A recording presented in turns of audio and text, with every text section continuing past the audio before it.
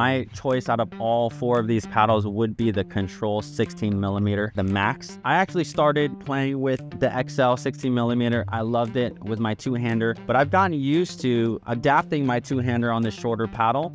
And for me, it just makes my hands quicker at the net because, you know, I get a little less wind drag and things like that. So I'm really comfortable with this. Any other thoughts on the on the Max, David? Yeah, I really liked how I countered with this paddle. Like I said, the, the hand speed does kind of slow up a little bit on the XL. So for the Max, I just really felt comfortable countering just because it's such a nice, easy, short handle to maneuver. As far as that goes, my drops, I did feel like I had a little bit too much paddle. I would have liked to have roll a little bit more. I was hitting it a little bit more on, on this paddle. But if I actually had to pick between the Max 13 and the Max 16, I actually liked 16 more. Just a little bit softer, a little bit more buttery,